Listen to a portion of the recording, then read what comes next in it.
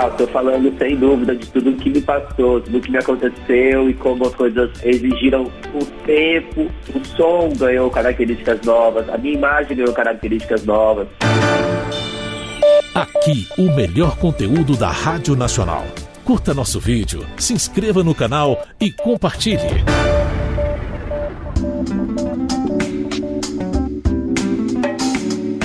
Olá, eu sou a jornalista Ana Pimenta e agora você vai ouvir um bate-papo que eu e a jornalista Ale Bastos tivemos com o rapper Rico Dalassá.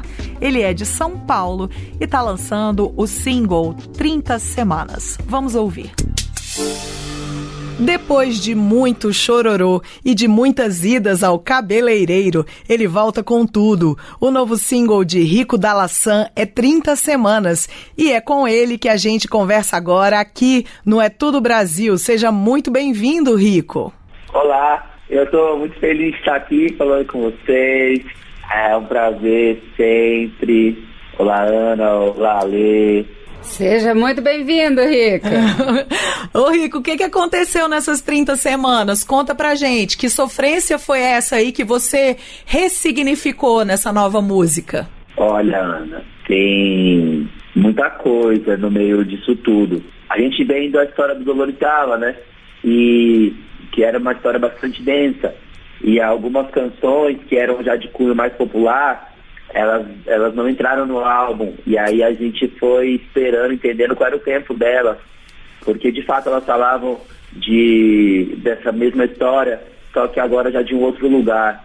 De um lugar. Sabe a hora que depois que já doeu tanto, que você deu uma aquela calejada e um pouco de estabilizada também diante da dor, aí você vai, você sai com o pessoal, você vai no bar, você Talvez até levanta para dançar, talvez, mas respeitando o seu tempo ali, depois de um longo período, se recuperando ali dessa, dessa onda forte que às vezes dá no campo dos relacionamentos, né? Duas coisas. Um, a, a gente percebeu que você, na música, você sorri daquilo que ficou para trás, daquilo que já passou, como se você estivesse num novo momento que não fosse mais de sofrimento. Eu achei isso muito legal. Eu falei, nossa, ele levou 30 semanas, 7 meses e meio. Às vezes a gente leva um mês, às vezes um ano depois, a gente ressignificar, né? É, a importância das relações nas nossas vidas, ela, ela tá fora da... Ela tá dentro da lógica, mas às vezes ela tá fora do tempo cronológico, né? Às vezes a gente fica super mexido por meses diante de uma questão que durou 20 anos, mas às vezes é uma questão que durou 15 dias, mas teve o poder de desorganizar a gente no lugar dos afetos, né?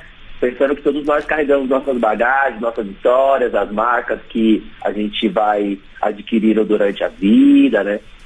O Rico, essa questão do, do tempo que é relativo, né, para a gente lidar com a dor, superar, transformar o que a gente sente, eu senti e já vinha sentindo antes também, quando eu vejo a sua obra, eu escuto o que você produz, que essa simbologia do cabelo é muito presente. Então, nessa música, de novo, você fala sobre cabelo, que você foi ao cabeleireiro para além, para além das questões simbólicas do movimento negro, do cabelo como um símbolo de afirmação, né, de poder e de luta, qual é a sua relação com o cabelo? Como é que você bota isso na música nova? Olha, é a primeira vez em cerca de 15 anos que eu tenho cabelo curto. Durante muito tempo eu tinha o cabelo com algum certo comprimento, que eu pudesse fazer tudo o que eu queria, né? Trança, solto e tal e agora tenho um cabelo curto. É, que simboliza também uma passagem de tempo, uma coisa que, que é algo que eu sempre usei para me defender. Eu tenho essa linguagem. É, eu não sei, o cabelo ele, me, ele, ele é um elemento que me remete a muitas coisas, me protege, me mostra e tal. E desde sempre. E conseguir me despedir disso e ao mesmo tempo marcar esse retorno é, meu para esse lugar das músicas populares, né? É, tem tudo a ver. É uma junção de, de acontecimentos, né? E eu vou juntando, né? Criando sinais novos, movimentos e marcas novas. Agora, marcas criadas por mim, não provocadas, né? Pela vida. 30 semanas, Rico, é para além de amor, relacionamento, é uma forma também metafórica de falar de outros sofrimentos, de outras dores, de outras experiências, é, muitas vezes de decepção com a sociedade. Hoje se discute muito a chamada cultura do cancelamento. Você passou por isso, o retorno veio aí em forma de fábula com seu segundo disco, Dolores Dalla, o Guardião do Alívio, né? Em que você fala ali da dor, do quanto doeu, e de repente você aparece sorrindo, falando as 30 semanas ficaram para lá, eu passei pela dor que eu tinha que passar, ressignifiquei. É um novo momento de fato da sua vida e é uma forma metafórica de falar de todas as outras questões. Ah, estou falando sem dúvida de tudo que me passou, tudo que me aconteceu e como as coisas é, exigiram o tempo, exigiram uma reorganização, exigiram jogar fora alguns códigos, e criar códigos novos. O som ganhou características novas, a minha imagem ganhou características novas. E no paralelo disso, eu fiz muito que a gente pensasse as relações, sobretudo, porque quando a gente pensa, pensa as relações no modo offline da coisa, que é no relacionamento amoroso, que é no trabalho, que é numa questão familiar, a gente se pensa, se elabora. Isso sem dúvida vai refletir no nosso comportamento nesse mundo online, onde as pessoas é, conseguem ser apenas uma e aí elas sentem mais a vontade para desferir ódio, para desferir opiniões que estão mais ligadas ao descontentamento delas com suas próprias vidas, com de fato a opinião que ela quer demandar sobre a, o comportamento e o acontecimento na vida de alguém, né? Rico, sexualidade. Você é homossexual assumido, você é representante da comunidade LGBT no chamado Queer Rap, que é uma bela responsabilidade, né?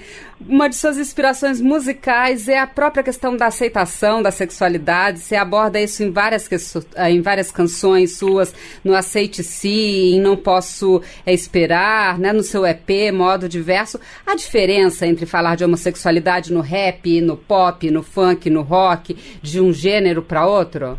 Eu acho que falar de humanidade, sobretudo, ainda mais de humanidades que estão às voltas de certas emergências, ainda mais aqui no Brasil, passa por lugares muito incomuns.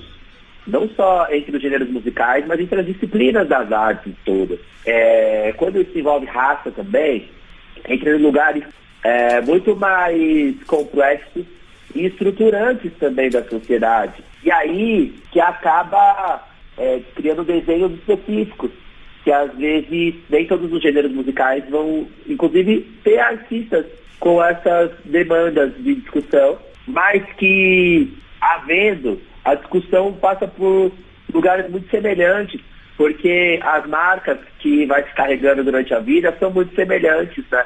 Aqui, Ana Pimenta, Rico, eu queria pegar carona na pergunta da Alê, na sua resposta, e engatar é, uma outra pergunta sobre o trap. Você também foi apresentado, além de ser uma revelação é, do queer rap, com uma, um artista, né, uma pessoa que traz na sua obra referências é, inspirações, né, elementos do trap. E aí você falando sobre esse universo que você traz um, uma, um lugar na sociedade que essa música representa e é tão difícil a gente fugir do espírito do tempo. Então, o jeito que você faz música tem a ver com o tempo que você vive, como é que você lida com as críticas ao trap? Você não é, é assim, diretamente identificado como um artista de trap, como é o Matue, por exemplo. Mas no seu uhum. caso, o que, que você tem para falar sobre o trap e as críticas que ele vem recebendo? Sou muito fã, tem muito, muita gente mágica, incrível. A gente vai vivendo transições geracionais, isso em todos os gêneros musicais. As pessoas elas vão é, passando para dentro dos comportamentos novos que vão acontecendo, algumas não. Isso reflete na grana que a pessoa passa a fazer ou deixa de fazer, e isso vai criando opiniões que estão às voltas é, ou de minimizar ou de maximizar uma, um comportamento, uma cultura. O trap nada mais é do que é, a atualização de tantos códigos que estão sendo trabalhados por diversas pessoas muito importantes, não só na cultura é, jovem, preta, as voltas do hip hop, né? Mas no comportamento do jovem geracional, na lida com a internet, no como a gente difunde e discorre sobre tantos assuntos, tendo os, os artifícios das redes sociais, as, as mais recentes, sobretudo, né? A música não, não seria diferente, ela tomaria esse ela tomaria essa vertente, né? É, tá falando aí de pessoas que artistas que vêm pós essa geração de artistas que fazem a música dentro de casa. Eu, eu já venho dentro desse, desse espectro. Eu fui a estúdio uma ou duas vezes dentro da minha obra toda. Eu faço as músicas em casa, gravo em casa, mixo, masterizo e divulgo elas na internet e em casa. O trap ele vem com todas essas características e o som ele é totalmente relacionado ao que você vai entender de uma música que foi descoberta fuçando ali, coisas de computador, muito mais do que a, a música em tantas outras vertentes. Eu sou super entusiasta, sou muito fã do Matuê, sou muito fã do Leno, sou muito fã do Bin, sou muito fã dos Meninos da Recade, enfim, pessoas que têm difundido o trap é, e que são pessoas que têm sem dúvida, uma influência muito grande do hip hop em suas vidas e que o rap fisgou ela em algum momento de sua vida e hoje ela consegue construir sua narrativa independente, ou pro pop, ou para dentro de uma cultura mais específica. E isso só engrandece e deixa maior as possibilidades de, inclusive, jovens que na sua maioria são todos negros e vêm de periferias.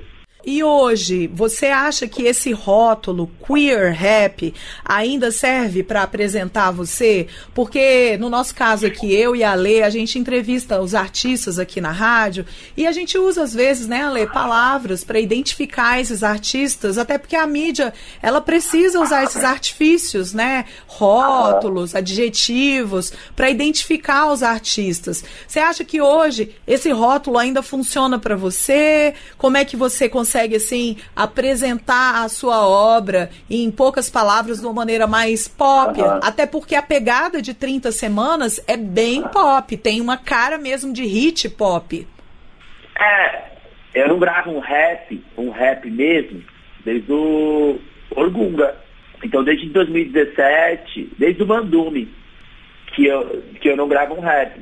E dali eu fui me entendendo nas canções, me entendendo nesse aspecto do, do hit, né? Teve o Todo Dia, que ajudou a gente muito a entender a nossa capacidade de, de falar no pop.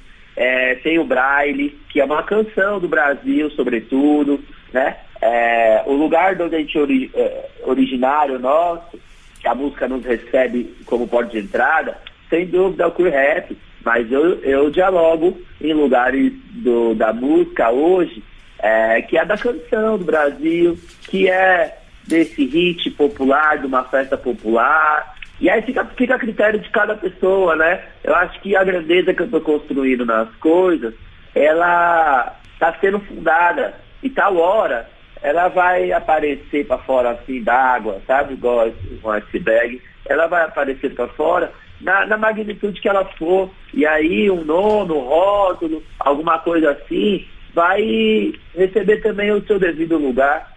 Rico, você é uma pessoa que gosta de brincar com os nomes. Rico Dalazão, Dalazão que significa disponho armas libertárias a sonhos antes mutilados. Seu primeiro CD, Orgunga, né, que é uma referência às palavras orgulho, negro e gay. Né? Ano passado você lançou Dolores Dala, Guardião de Alívio. Eu vou querer saber, primeiro, de onde veio esse nome Dolores Gala. E agora o seu próximo disco, né, que vai ter o nome de Fim das Tentativas, que ainda vai ser lançado, que traz aí, né, já o primeiro primeiro single 30 semanas. Quem é, de onde vem Dolores Gala? E explica pra gente, já que nenhum nome seu é à toa, fim das tentativas. O que que você parou de tentar? O que, que você cansou que não tá mais tentando?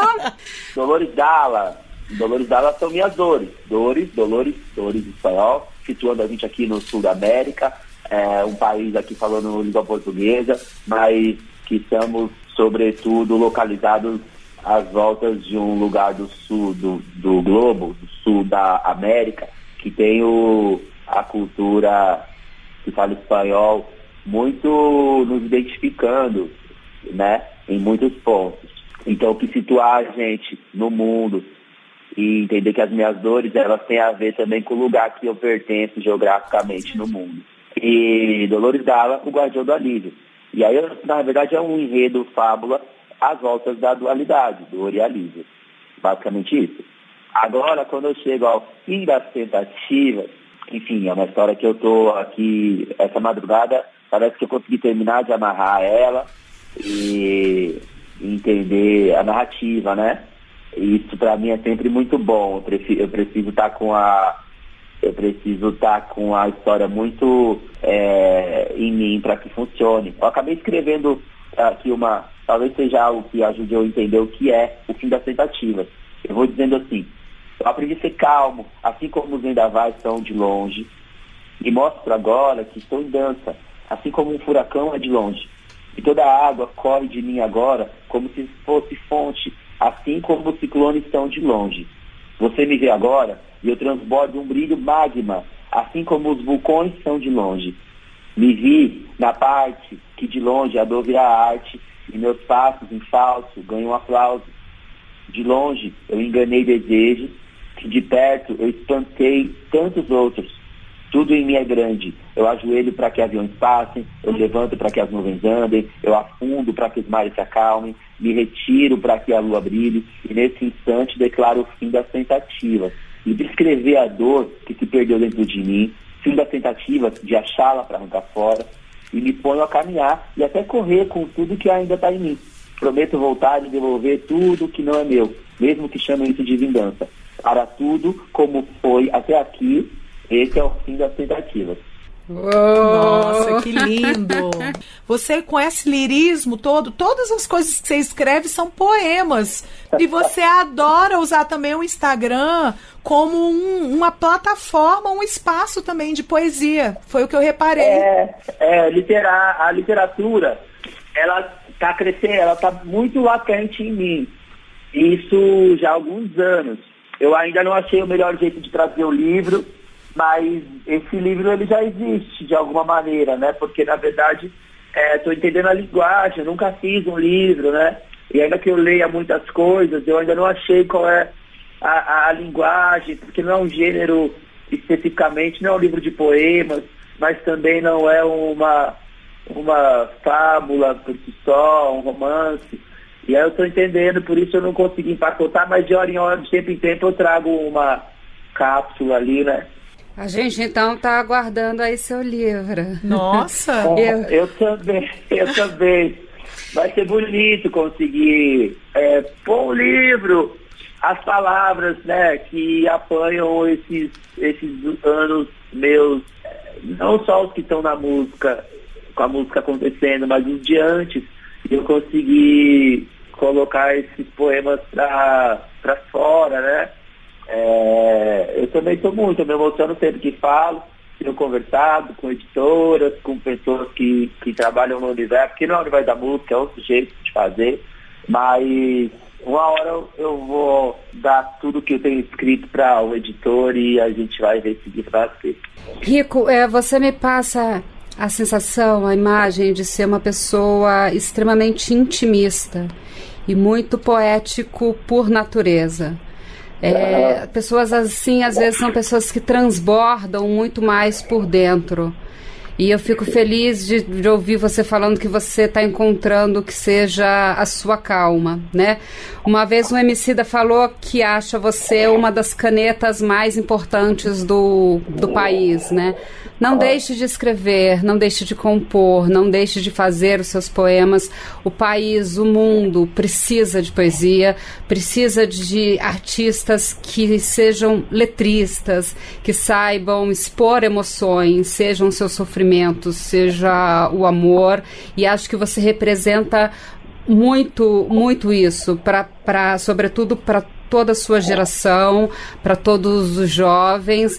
É, e, e, eu sempre fico muito feliz quando eu encontro, assim, pelo caminho, uma pessoa que consegue entrar em contato consigo mesma da forma como você faz e expor isso para tantas outras, assim. Muito obrigada pela sua entrevista. É. E muito Obrigado, sucesso para você. É, foi uma honra pra gente conversar com você, Rico. É tão, é tão bonito de ver, né? Quando o artista, ele consegue, assim, conectar os fins e os meios. E independente da plataforma que você escolher para publicar isso, seja, sei lá, num, num blog, em alguma coisa multimídia, ou num livro mesmo, físico, a gente sabe que vai ser muito precioso, muito bem feito.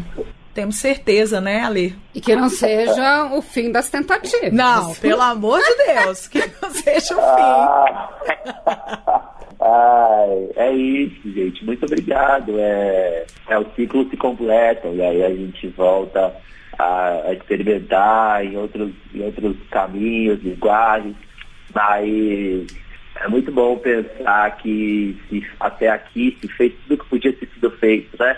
Eu fiz, eu estreiei um movimento, eu tenho ajudado a continuar a fundá-lo, eu fiz hit de carnaval, eu fiz o Braille, que é uma canção muito especial, eu consegui fazer disco, sem saber como fazia disco, fiz Dolores Dalla, que é um disco que é bastante importante, veio vinil, e dentro de tudo isso, que são tentativas, desse tempo, eu preciso pôr um fim nesse conjunto de tentativas para que eu possa viver livre para falar de outras coisas. Eu quero falar de amor, eu quero falar de coisas felizes, eu quero falar mais da minha mãe em vida. Não, inclusive eu achei maravilhoso ela fazendo propaganda lá do seu show, de, do novo single. Eu, eu tenho uma mania de construir personagens.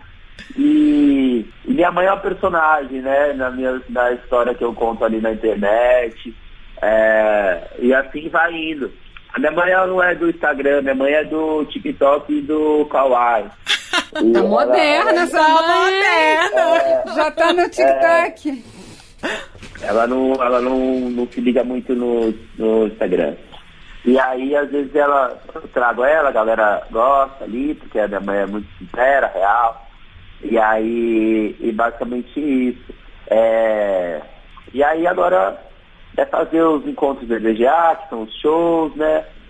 É, vai vir o fim das tentativas, mas ainda assim continua o encontro do EBGA, que é um formato né, de espetáculo, assim, que eu vou lá no meio, que as coisas acontecem de outra maneira do que os shows na sua maioria. Muito obrigada, Rico. Um grande abraço para você. Sucesso. Obrigado, eu. Tudo de bom. Tudo de bom, Rico. Sucesso com o novo single. Obrigado. Um beijão a todos. Aqui, o melhor conteúdo da Rádio Nacional. Se você gostou, curta nosso vídeo, se inscreva no canal e compartilhe.